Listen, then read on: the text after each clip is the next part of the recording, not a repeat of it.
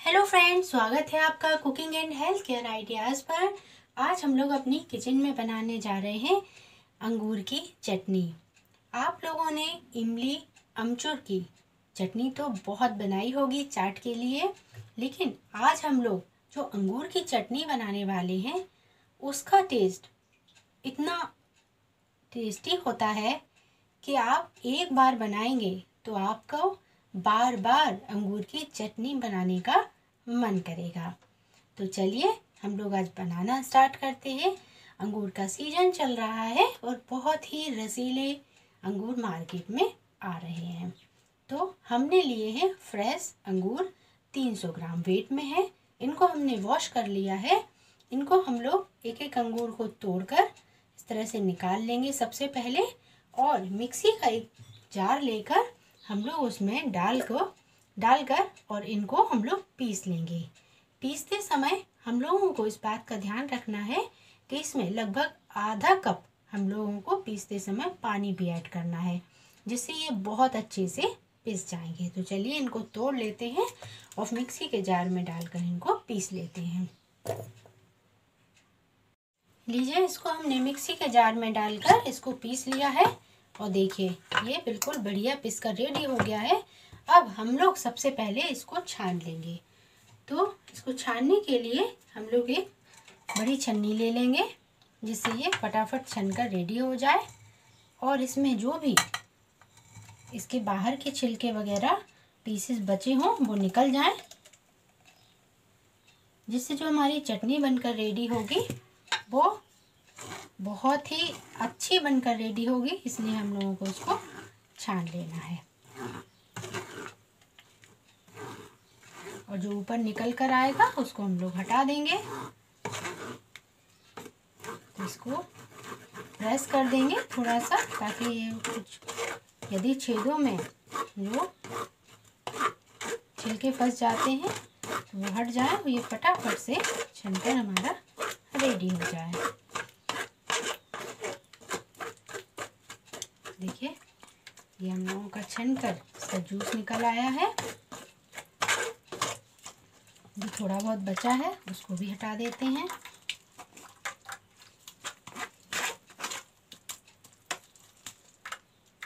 अब इसको हम लोग कर देंगे साइड में और चटनी बनाना स्टार्ट करेंगे। उसके लिए हम लोग गैस पर चढ़ा देते हैं एक पैन। लीजिए चटनी बनाने के लिए गैस पर हमने एक पैन चढ़ा दिया है। गैस को हमने मीडियम फ्लेम पर ऑन कर लिया है। अब हम लोग लेंगे 100 ग्राम गुड़ और इस गुड़ को हम लोग इस पैन में डालेंगे। पैन हम लोगों का गर्म होने लगा है और अब इसके साथ हम लोग इसमें डाल देंगे आधा गिलास पानी। इस गुड़ को हम लोग अभी जब ये मेल्ट हो जाएगा तो इसको हम लोग छानेंगे। जिससे इसमें जो भी इम्प्योरिटीज़ हों, वो निकल जाएँ। तो इसको हम लोग मेल्ट हो जाने देते हैं, गैस को स्लो कर देते हैं। लीजिए, गुड़ अच्छे से मेल्ट हो गया है। गैस को करेंगे बंद और इसको हम लोग छान लेंगे। तो चलिए इसको छान लेते हैं। लीजिए, अंगूर का जूस जो हमने छान कर रखा है, इसमें हम लोग एक चम्मच मिलाएँगे कॉर्नफ्लोर कॉर्नफ्लोर मिलाने से हम लोगों की जो चटनी बनेगी, वो बहुत ही थिक बनेगी, बहुत ही ट्रांसपेरेंट बनेगी, देखने में बहुत अच्छी लगेगी। तो इसको थोड़ा थोड़ा करके हम लोग मिला देते हैं और हम लोगों का गुड़ भी बनकर रेडी हो गया है। उसको भी हम लोग एक साइड रखकर छान लेते हैं और फिर हम लोग कुछ इसमें चटनी में डालने के लिए मसाले भी लेंगे। ये जो लम्स बन रहे हैं, इनको हम लोग अभी यहीं पर फोड़ देते हैं, जिससे बाद में ये हम लोगों को परेशान ना करें, बनाते समय। तो लीजिए ये। देखिए, अभी यहीं पर हमने इनको, अब हम लोग फिर से वापस से पैन चढ़ा लेते हैं। देखिए। लीजिए, वापस से हमने पैन चढ़ा लिया है। पैन गर्म होने लगा है, गैस को मीडियम फ्लेम पर ऑन कर लिया है। अब हम लोग इसमें डालेंगे जो हम लोगों ने गुड़ छान के रखा है।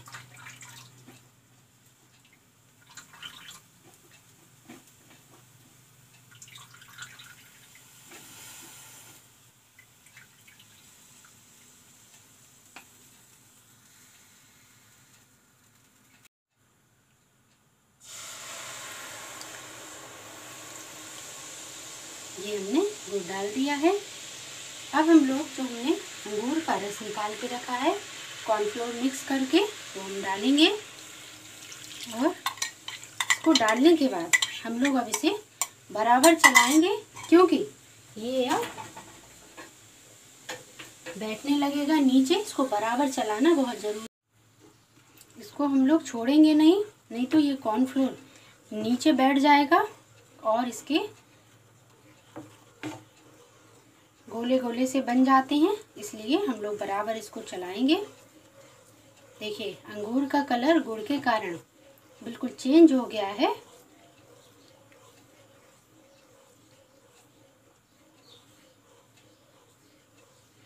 धीरे धीरे ये थिक होने लगेगा। अभी हम लोगों को लगभग सात से आठ मिनट इसको ऐसे ही चलाना है। गैस को मीडियम फ्लेम पर करके रखेंगे।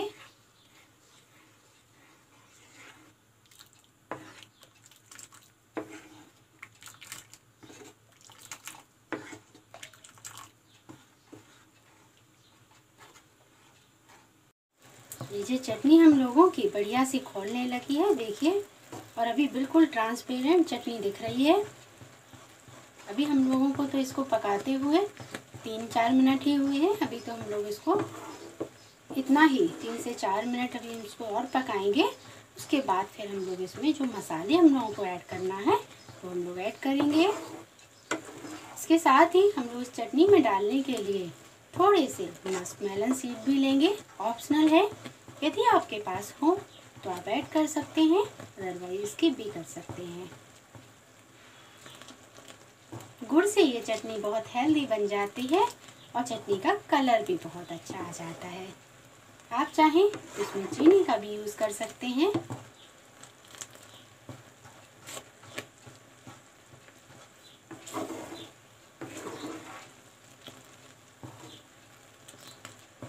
चटनी को हम लोगों को बहुत थिक नहीं करना है। किसी के साथ भी समोसे, कचौड़ी आलू की टिकिया या किसी भी टाइप के स्नैक के साथ हम लोग यूज़ कर सकते हैं।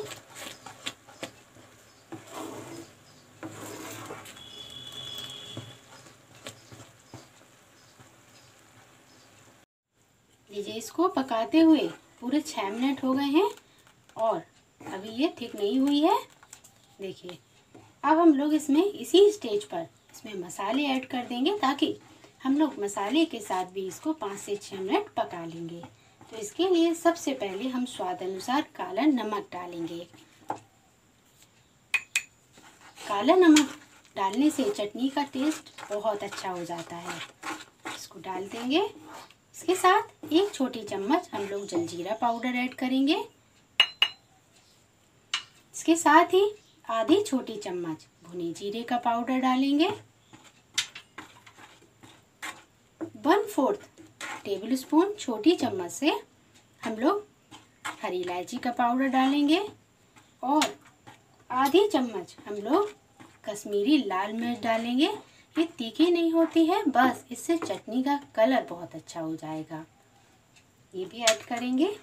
अब चटनी को तीखा करने के लिए हम लोग आधी छोटी चम्मच डालेंगे इसमें काली मिर्च पाउडर।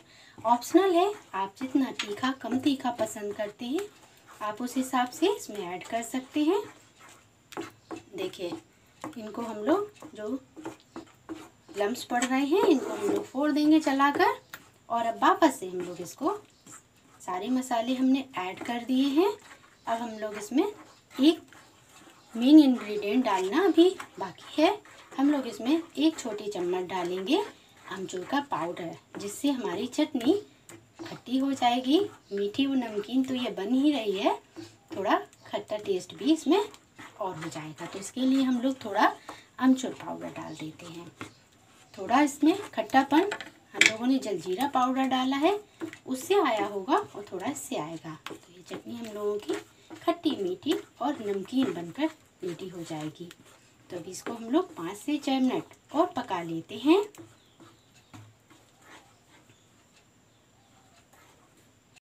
चटनी में मसाले डालकर हमने इसको लगभग पाँच मिनट और पका लिया है। और ये एकदम परफेक्ट बनकर रेडी हो गई है, देखिए। इस तरह से जब हम गिराते हैं तो एक हम लोगों के स्पैचुला पर एक लेयर बन रही है। तो बस समझ लीजिए कि इस तरह से जब एक लेयर बन जाती है, देखिए, मिल नहीं रही है लेयर दोनों बीच में गैप आ रहा है तो चटनी हम लोगों की बनकर रेडी हो गई है। अब हम लोग इस स्टेज पर इसमें डालेंगे मसमेलन सीड जो कि हमने रोस्ट कर लिए थे हल्के से। इसमें डाल देंगे और मिक्स करेंगे। इसके साथ ही गैस को करेंगे बंद और चटनी को निकालेंगे एक बाउल में। टेस्टी टेस्टी चटनी हम लोगों की बनकर रेडी हो गई है। चलिए एक बाउल में निकाल लेते हैं। लीजिए चटनी सर्व करने के लिए हमने एक बाउल ले लिया है। और इसमें हम लोग